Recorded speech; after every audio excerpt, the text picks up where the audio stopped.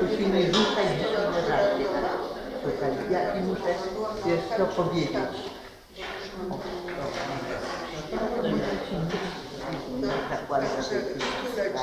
Zobacz Alicja, ten pan w spodenkach krótkich, widzisz?